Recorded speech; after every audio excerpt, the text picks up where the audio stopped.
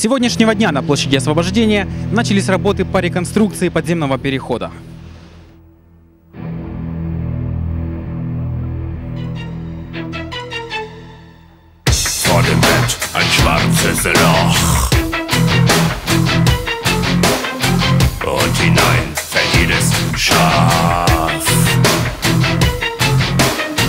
Schon zu alt und zähl sie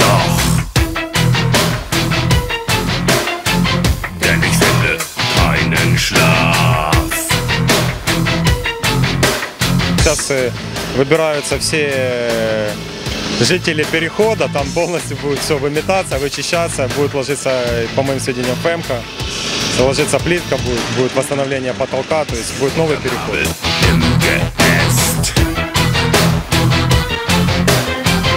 Это полностью весь переход будет реконструкция перехода.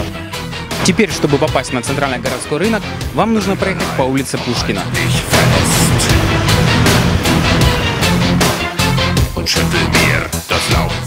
Шум мешает работать? Ой, как мешает. А ничего, нема. Денег нет. Я понял. Ну хорошо. Денег сейчас нет, конец месяца.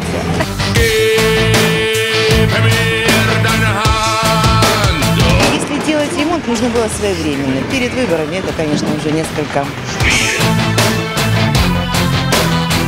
Харитонова лучше проехать по улице Кобылянска. А если надо в сторону площади Освобождения, то лучше по Октябрьской. Для троллейбуса сделали специальный разворот, они разворачиваются вокруг площади Освобождения.